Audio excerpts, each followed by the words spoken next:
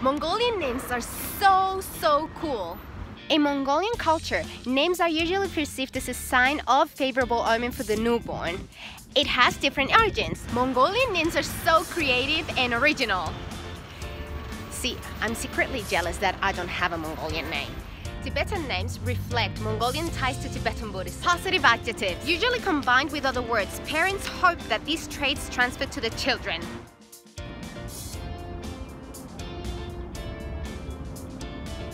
Angus and Temujin are the same person. This one here. And everybody in this country is very proud of him. Hence, a lot of kids are named after him. Weather phenomena, gemstones, celestial body. This hints at the close relationship that Mongolians have always had with nature. Foreign names like Russian or English names depict past and present relationships of Mongolia and other countries. Terbish, Nergui. They literally mean not this one and without a name. These type of names are chosen by parents who have suffered the loss of a child and they want to avoid the same fate for the newborn. Hello, hi Batri. My name is Oyun Nirsten. That means precious mind in Mongolia. Hello, Patty. My name is Gambayar, and if you translate it into English, it means very happy. Thank you. My name is Kusha. It means smile.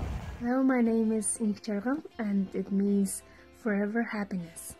Hi, my name is Altan Shara and it means golden ankle. Hello, my name is Sindesh. It is Tibetan name.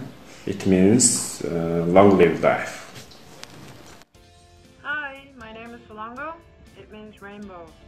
Hello, my name is Zataya. It means happy destiny. Hi, my name is Mukot. It means eternal star. Hello, my name is Alang. It means rainbow. Hello, my name is Nermin. It means ruby. Hi, uh, my full name is Bimp Jargal. The first part Bimp is actually Tibetan word and it means caregiver, but it also means Saturday in Mongolian. And the second part, uh, Jargal, means happiness.